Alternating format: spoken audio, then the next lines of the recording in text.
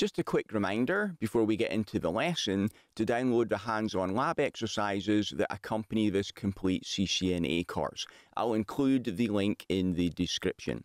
Also remember to subscribe and hit the notifications bell so you don't miss any of the lessons in the course. Okay, let's get into it.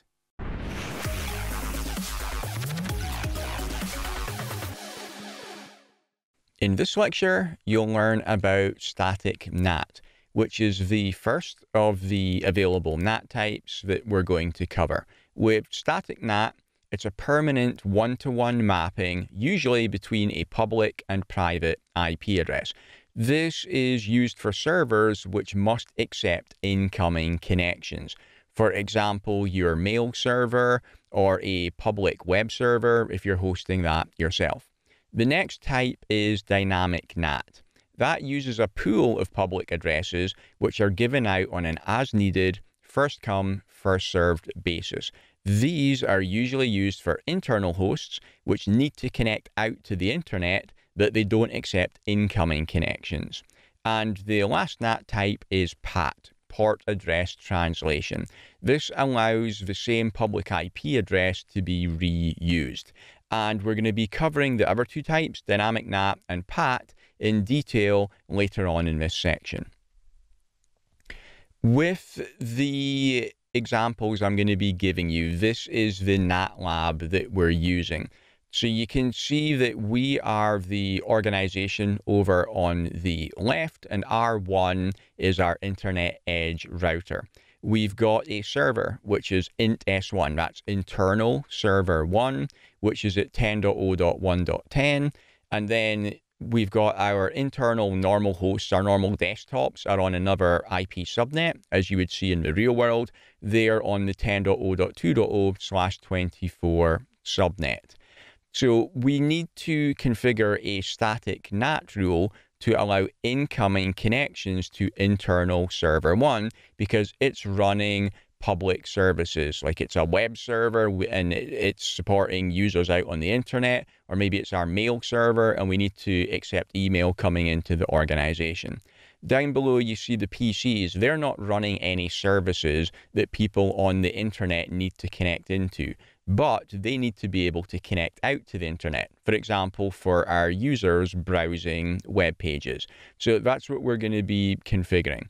For the examples, we've got external S1 X S1 over on the right. That is an external server that I'm just going to use for testing and for checking that NAT is working.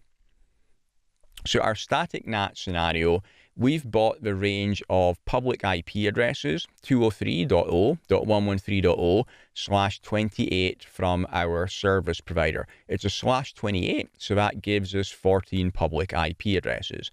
Of those addresses, 203.0.113.2 is used on the outside interface on our Internet Edge Router R1. So let's just look at the diagram again. You can see we've got 203.0.113.0 slash 28 is our range of public IP addresses on our outside interface, fast 0 slash 0 on R1. And we're using 203.0.113.2 on our outside interface. And over on the service provider side of that link, 203.0.113.1 is being used there. So that leaves 203.0.113.3 to 203.0.113.14 available that we can assign. Int S1 at 10.0.1.10 is an internal web server which needs to accept incoming connections from the internet so that people out on the internet can browse our website.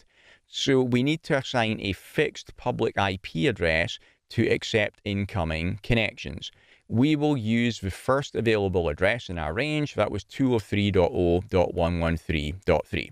So that gives us a a permanent public IP address that external people can use to connect into our web server.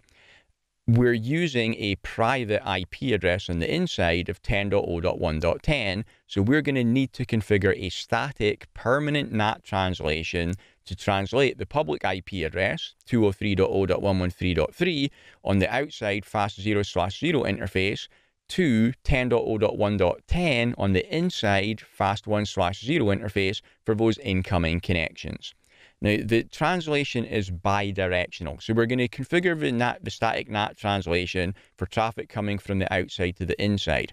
Our server also needs to send traffic back out to the internet as well. But we don't need to configure a separate NAT rule for that. Our static NAT rules are bidirectional. So it'll also take care of the outgoing traffic. So here is how we do the configuration. So on R1, first off, we need to specify which interface is the outside and which is the inside. So we say interface fast 0 slash 0, IP NAT outside, and then interface fast 1 slash 0, IP NAT inside. Then we configure the static NAT translation. For that, we say IP NAT inside sourced static. 10.0.1.10 is the inside IP address. 203.0.113.3 is the outside IP address. And that's it. That's the whole config. Now, whenever the host 10.0.1.10 sends traffic coming in on interface fast 1 slash 0 and it's going out to the outside out fast 0 slash 0, the router will change its source IP address on that outbound traffic from 10.0.1.10 to 203.0.113.3. So that's for the outgoing traffic. For the incoming traffic, whenever traffic comes in with 203.0.113.3 as the destination address coming in on interface fast 0 slash 0 on the outside, the router will change that destination address to 10.0.1.10 and send it through to interface fast 1 slash 0. So this is going to take care of our NAT translation for traffic in both directions. To verify that it is working, send some traffic to or from that host with the outside, and then do the command show IP NAT translation.